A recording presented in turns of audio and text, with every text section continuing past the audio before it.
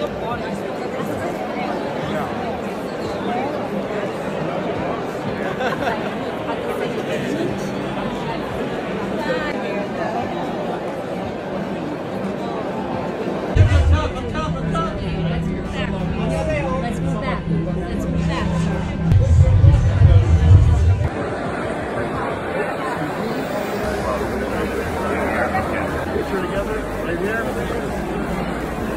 You